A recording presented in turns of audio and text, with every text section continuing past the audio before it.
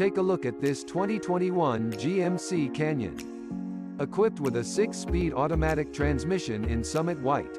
This car comes with some great features including alloy wheels, diesel engine, Android Auto, anti-lock brakes and more. Come in and check it out today.